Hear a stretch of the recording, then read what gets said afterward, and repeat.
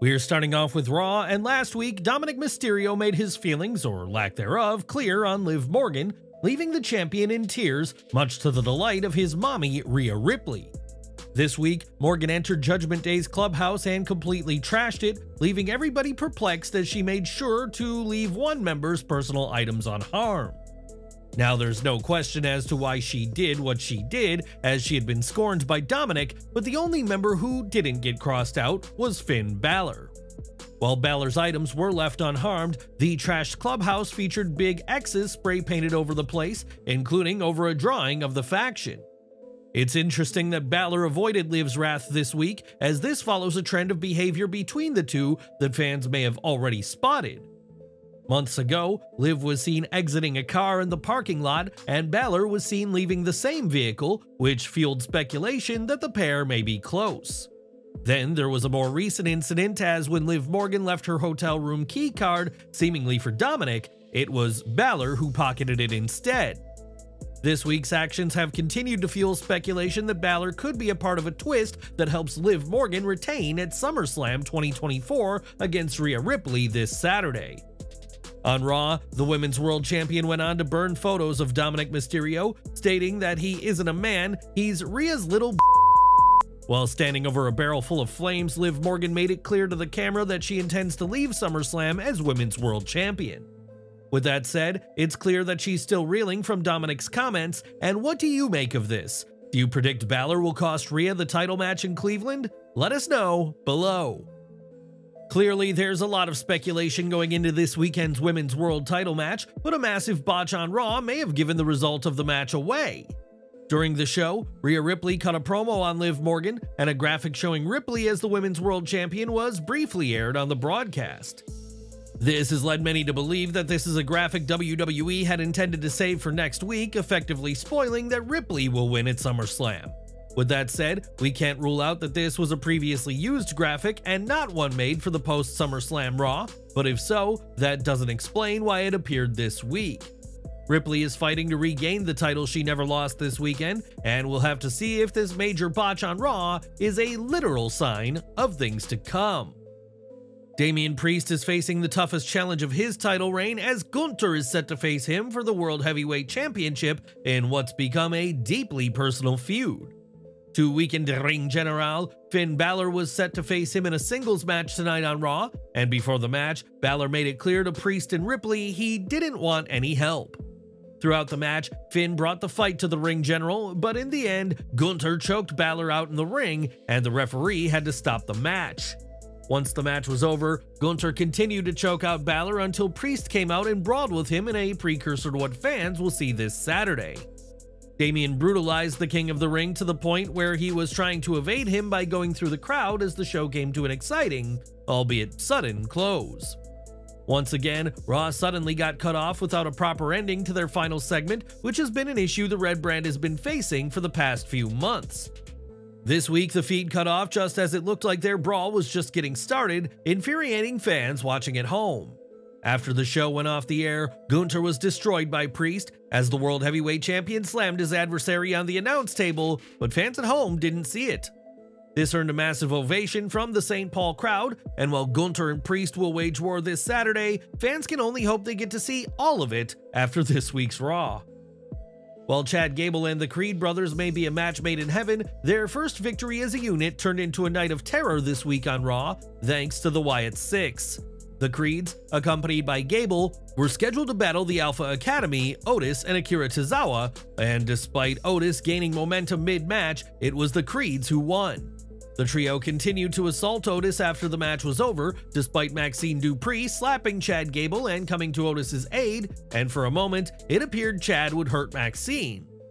Before that happened, the lights went out, and the male members of the Wyatt Sicks came down to the ring to confront the Creed brothers and Chad Gable. As they stood on the ring apron, the three men removed their masks, revealing themselves as Erick Rowan, Dexter Lumis, and Joe Gacy, and Chad went to leave and ate a crossbody. That was done by the faction's female member, revealed to be Nikki Cross, while the other Wyatt Sicks members destroyed the Creed brothers one by one. Interestingly, Michael Cole referred to Cross as Sister Abigail during the show, but when the segment was shared on social media, that piece of the commentary was removed.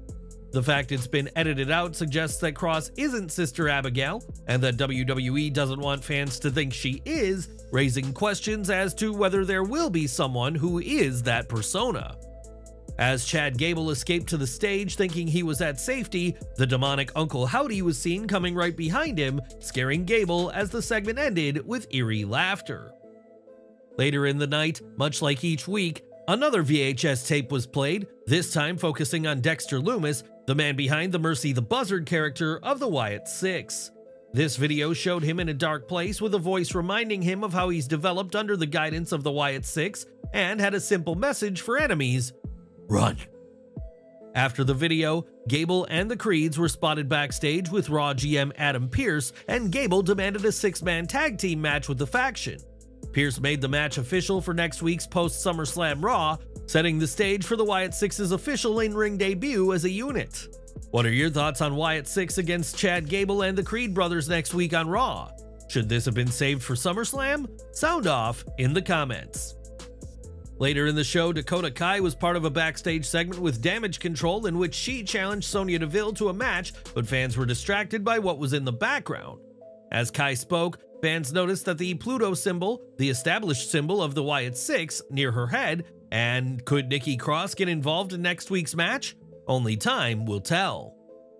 Seth Rollins opened up this week's Raw and wasted no time in calling out the men he'll officiate at SummerSlam, those being CM Punk, and Drew McIntyre. It was emphasized that Punk and McIntyre are prohibited from any physical contact until SummerSlam, or their match will be cancelled, which neither man wants to see.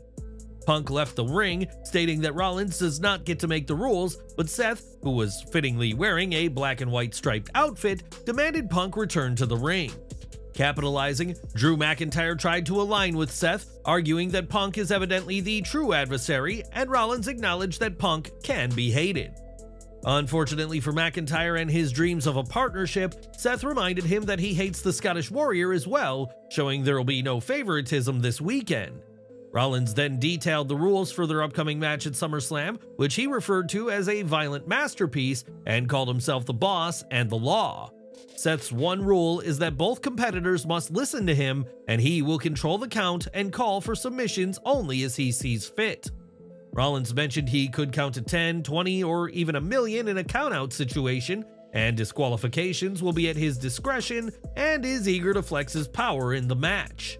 Punk said he hopes Rollins is a better referee than a dresser and said he wouldn't want Seth's help anyway, and the only side the special guest referee will be on is his own side. It remains to be seen how Seth Rollins will influence the match between CM Punk and Drew McIntyre, but this setup adds an interesting dynamic leading up to SummerSlam.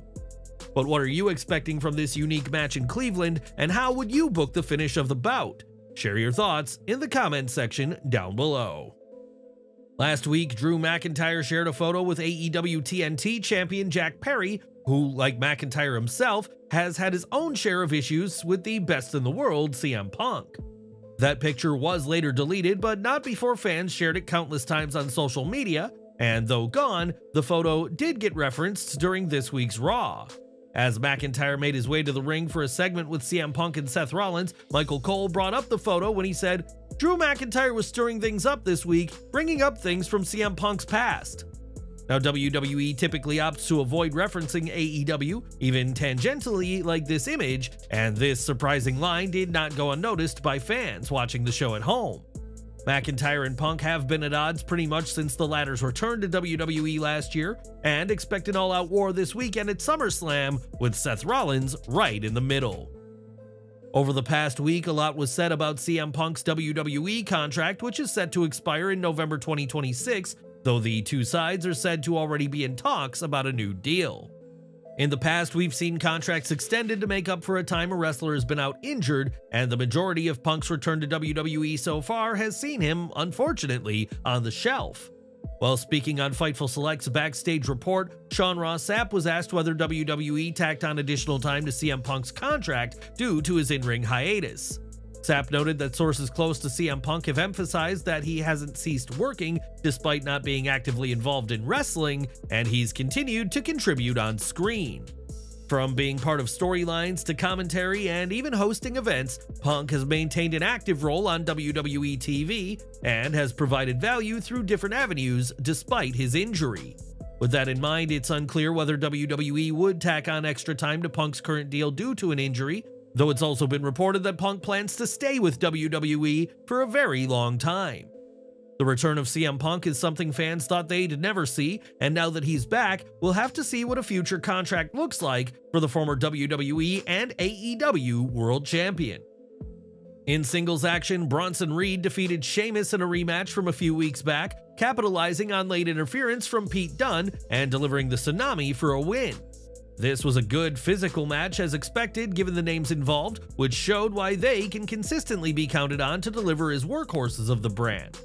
Reed scoring a win is a big deal because he has lacked those defining victories, while Sheamus losing the way he did only puts him one step closer to a showdown with Dunne. That should be a show-stealing match on any card lucky enough to have it, but now it remains to be seen when this match will take place. It was recently announced that Pat McAfee will return to College Game Day once the college football season starts once more on August 24th. This led many to speculate that Pat would once more have to take a hiatus from WWE commentary, but Fightful Select reports that this is not the case at all.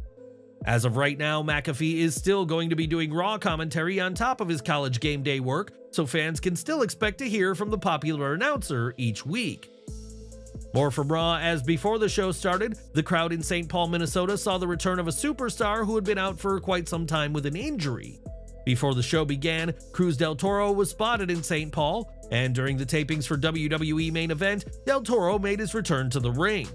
Del Toro, who's been out since WrestleMania with an injury, teamed with LWO ally Joaquin Wilde to face the authors of Pain from the Final Testament.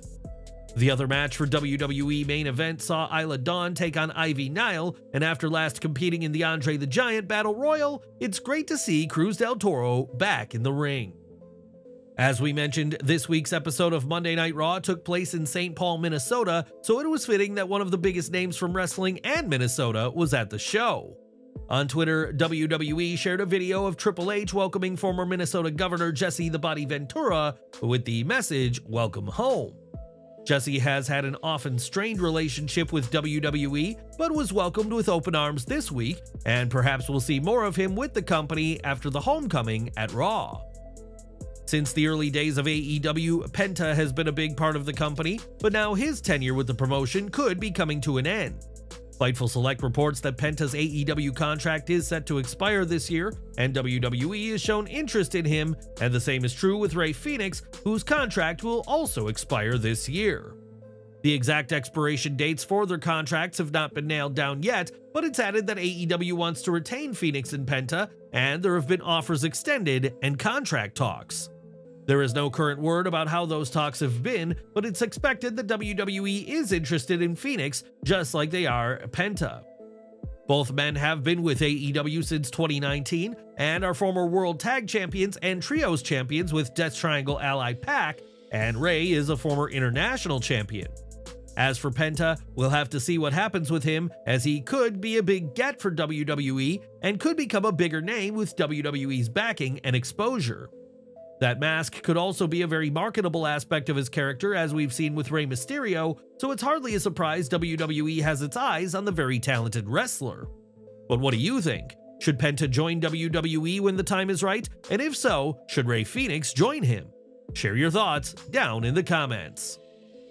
It was in December that Charlotte Flair suffered an injury that has kept her off of WWE TV ever since, and the Queen was forced to miss the Royal Rumble and WrestleMania 40. The former women's champion has shown remarkable progress in her rehabilitation and has taken to social media to share a huge update on her recovery. In one of her Instagram stories, Charlotte can be seen training in the ring at the WWE Performance Center and is decked in her CF wrestling boots, but still sporting a knee brace. Flair tosses the trainer back and forth between the ropes before doing some running drills of her own, and we now know more about Charlotte's exact injury. Sean Ross Sapp of Fightful reports that Flair tore three ligaments in her knee about eight months ago, and that there are often unrealistic expectations on pro wrestlers with severe knee injuries. With that in mind, and given the seriousness of her injury, it's anticipated she may be out for an additional two to three months, despite rumors of a SummerSlam return. In the meantime, Charlotte is starring in a horror thriller movie called You Lose, You Die, so fans can look forward to that when she remains absent from in ring competition. Flair has been one of WWE's top women for years, and it remains to be seen what will be done with her as anticipation grows towards her eventual in ring comeback. We've got some unfortunate news now as Joseph Connors, who was part of the NXT UK brand, was recently involved in a car accident that could have had tragic consequences. Connors took to Instagram to share a powerful message about the life saving role of seatbelts and shared that all four occupants of the vehicle were wearing their seatbelts. The deployment of airbags played a crucial role in saving their lives as well, and Connors urged everyone to prioritize safety for themselves and their passengers. According to Connors, he and three friends were returning from an event when another driver, suspected of being under the influence, collided with their vehicle and then fled the scene. Connors added that he wanted to address the matter after a member of the public witnessed the incident and recognized him as a wrestler who had performed with WWE. In the post, Connors shared that he wasn't seeking sympathy, and in a separate post of her own, UK wrestler Ashley Vega shared that she too had been part of the accident. Like Connors, Vega reminded fans about the importance of wearing a seatbelt and shared a photo of the bruises left from the impact of the crash, but made clear it could have been far worse.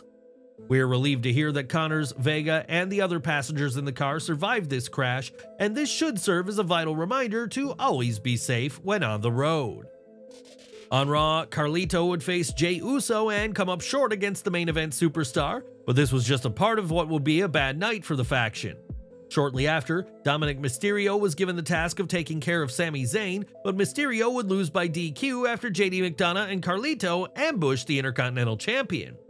Jey would then make the save and level McDonagh with a spear before sending Dominik flying over the top rope, followed by a big splash by Jey. As Sami looked at the chaos at ringside, though, he was ambushed from behind by Bron Breakker, the man who will challenge Sami for the Intercontinental title at SummerSlam. When Breakker went for a spear, Sami countered with a big boot before hitting an exploder into the corner, though Bron dodged a Helluva Kick by the champion. Breakker tried a second sneak attack when Zayn's back was turned, but was thwarted again by Sami, who sent him out of the ring as momentum is on the champion's side. It was the Helluva Kick that saw Sami retain against Bron Breakker at Money in the Bank in Toronto, and we'll have to see if lightning strikes twice this weekend. More from SummerSlam now as this week's show will take place in Cleveland, and on Raw, it was confirmed that The Miz will be the host of the event in his hometown. This comes after the Awesome Truth said they wanted to regain their World Tag Team titles at SummerSlam, but that seemingly will not be happening this weekend. As of right now, the World Tag Team titles will not be on the line at SummerSlam, while the WWE Tag Team titles will be up for grabs on the SmackDown before SummerSlam. The Miz has hosting experience as he did the duty at WrestleMania 39, but after losing two matches on that night, he'll be hoping for a much better time at the biggest party of the summer.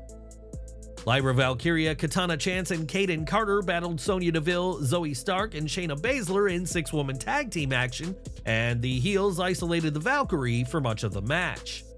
Valkyria was able to fend them off and made the tag to Carter, and the action broke down from there with the faces mounting a comeback and appears poised to score the win. An alert Deville broke up the after party by chance, and Stark put her away with a Z360 for the win, and the group had an altercation with Damage Control after the match.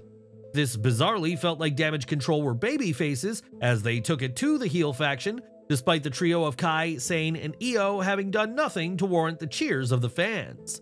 Nevertheless, Damage Control cleared the ring of the babyfaces before standing tall to close things out, and once again, we couldn't help but notice Lyra Valkyria's standing. The former NXT Women's Champion and Queen of the Ring runner-up does not feel nearly as important as she did two months ago, a blight for somebody who has beaten Becky Lynch. With that said, Valkyria continues to enjoy consistent TV time and is being kept relevant in the eyes of fans, but she remains something of a third wheel, aligning with Chance and Carter.